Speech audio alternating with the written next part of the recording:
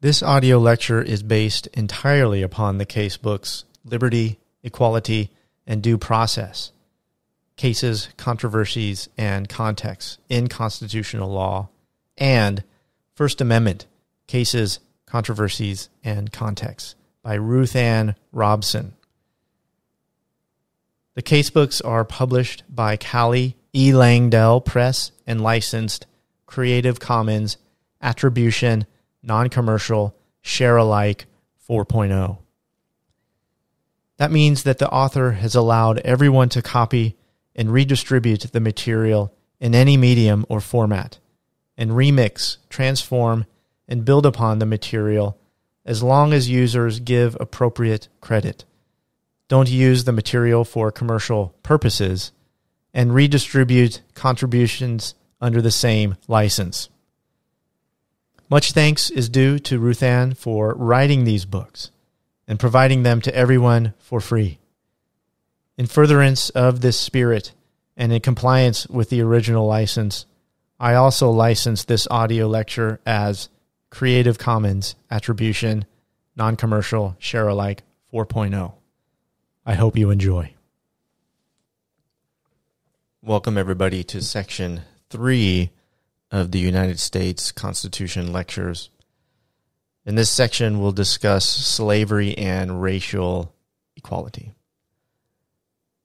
Constitutional equality before the Reconstruction Amendments. Recall that although the notion of equality is in the Declaration of Independence, it is not in the Articles of Confederation or the Constitution before the Reconstruction Amendments.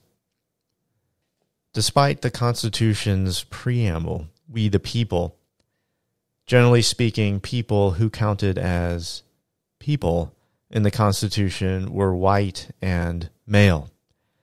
As for women, the Declaration of Independence, Articles of Confederation, and pre Reconstruction Constitution do not address sex or gender, implicitly assuming a male political body despite a population of roughly 50% women. As for Native Americans, the Constitution recognizes the sovereignty of Indian tribes explicitly in Article 1, Section 8, Clause 3 which gives Congress, rather than states, the power to regulate commerce with Indian tribes. And implicitly in Article 6, the Supremacy Clause, which declares the Constitution supreme, also provides that treaties entered into by the United States shall be the supreme law of the land. In 1789, there were at least nine treaties with Indian nations. Most contentious in the Constitution was the status of enslaved persons. The 1789 Constitution enshrined slavery, albeit without ever using the term. Despite the absence of the word, the so called compromise among the framers of the Constitution regarding slavery appears in a number of provisions.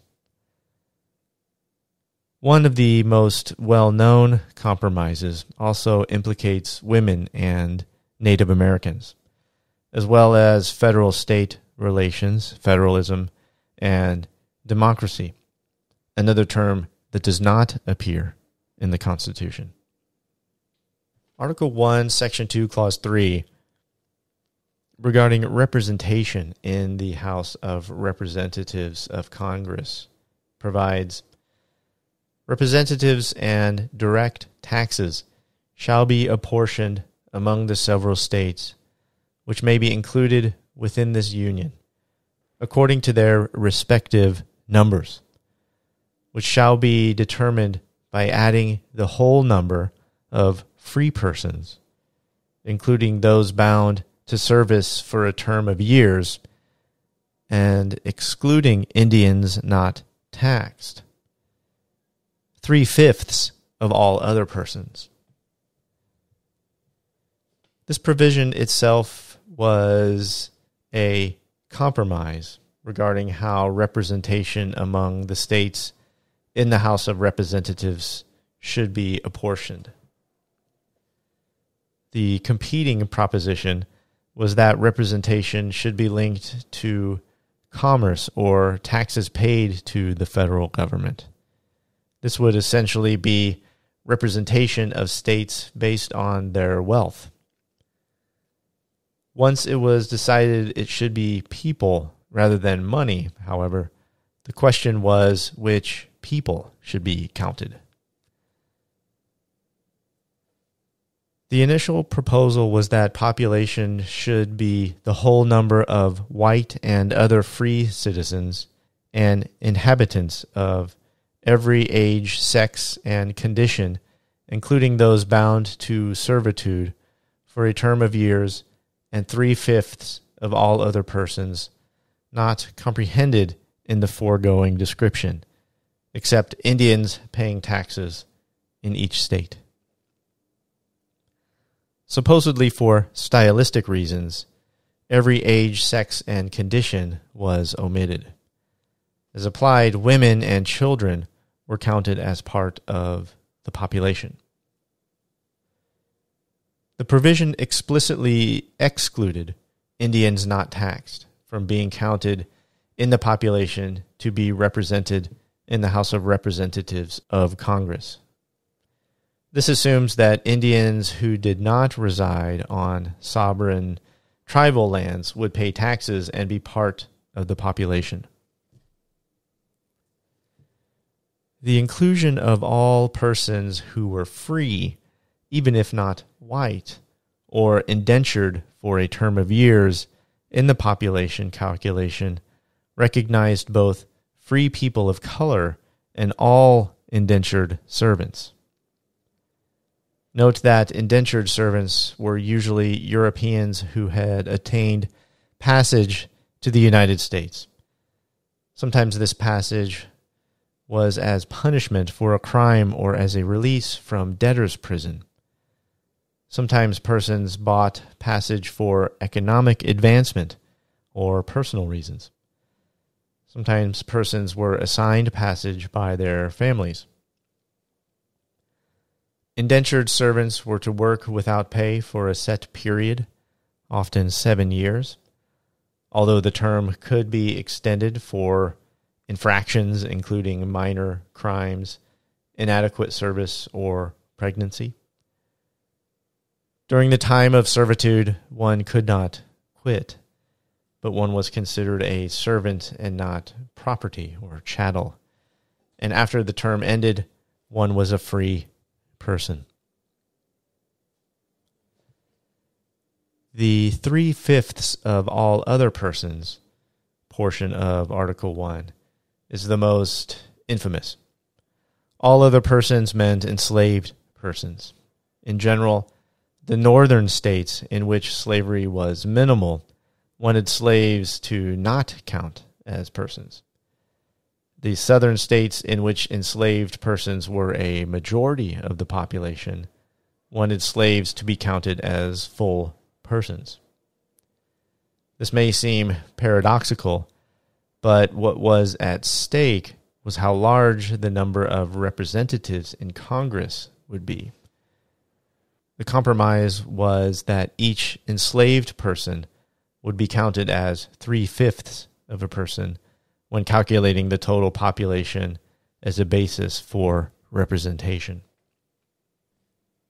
Gouverneur Morris, who despite his first name was never governor, but was later a United States Senator from New York, famously criticized such a compromise during the Constitutional Convention. Quote, Upon what principle is it that the slaves shall be computed in the representation? Are they men? Then make them citizens and let them vote. Are they property? Why then is no other property? Included. However, the presumptive author of Federalist Paper number 54, James Madison, argued that the Constitution was correct to view our slaves as possessing the mixed character of persons and of property. Madison contended that this was, in fact, their true character, although it was not necessarily a natural one. In addition to Article 1, Section 2, Clause 3, several other provisions in the 1789 Constitution recognized slavery, again, without using the term. First, Article 1, Section 9, Clause 1, and Article 5 guaranteed the importation of slaves into the United States until 1808. Article 1, Section 9, Clause 1 provided that the migration or importation of such persons as any of the states now existing shall think proper to admit shall not be prohibited by the Congress prior to the year 1808. But a tax or duty may be imposed on such importation, not exceeding $10 for each person. Article 5, regarding amendments to the Constitution, exempted Article 1, Section 9, Clause 1 from the amendment process until then. Note that Congress did pass the act prohibiting importation of slaves of 1807, signed by President Thomas Jefferson, which became effective January 1st, 1808. Second, Article 4 mandated the recognition of slave status by all states. Article 4 is best known for requiring states to give full faith and credit to the proceedings of other states and to grant all privileges and immunities to citizens of other states. But it also contained the so called Fugitive Slave Clause.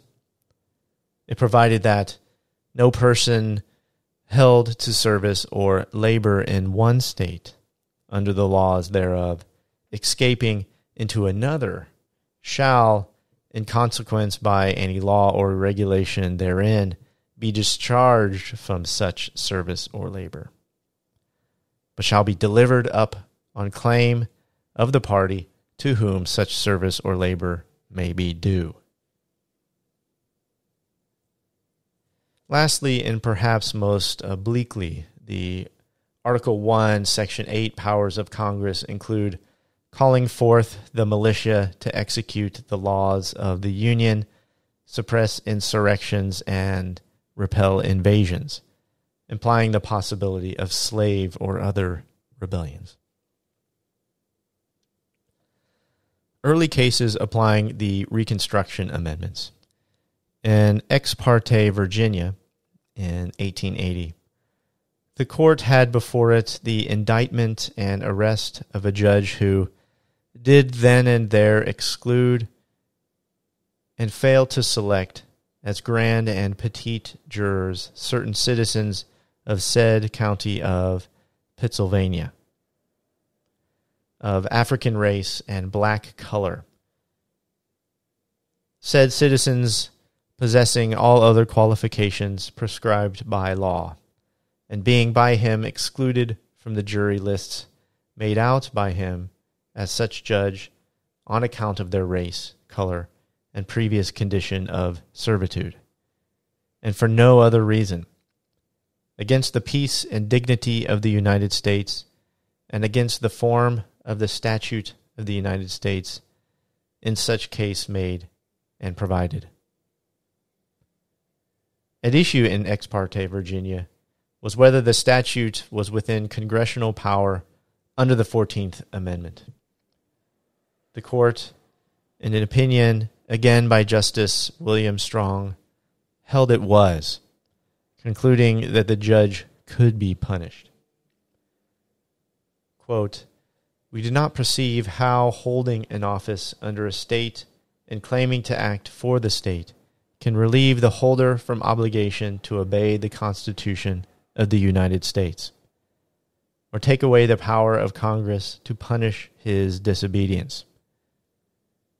We do not perceive how holding an office under a state and claiming to act for the state can relieve the holder from obligation to obey the Constitution of the United States or take away the power of Congress to punish his disobedience. In Virginia versus Rives of 1880, the question again involved the Congressional Civil Rights Statute, but this time focusing on a provision allowing for removal of a trial from state court to federal court when any person who is denied or cannot enforce in the judicial tribunals any right secured to him by any law providing for the equal civil rights of citizens of the United States. Yet the court, in an opinion again by Justice William Strong, found that the allegations of the defendants in the murder trial did not warrant removal. Quote, the assertions in the petition for removal that the grand jury by which the petitioners were indicted, as well as the jury summoned to try them, were composed wholly of the white race, and that their race had never been allowed to serve as jurors in the county of Patrick in Virginia. In any case in which a colored man was interested, falls short of showing that any civil right was denied, or that there had been any discrimination against the defendants because of their color or race. The facts may have been as stated, and yet the jury which indicted them and the panel summoned to try them may have been impartially selected. End quote.